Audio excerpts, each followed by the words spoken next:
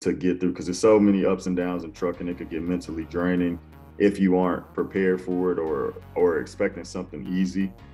And so that's the biggest thing, just being able to persevere through adversity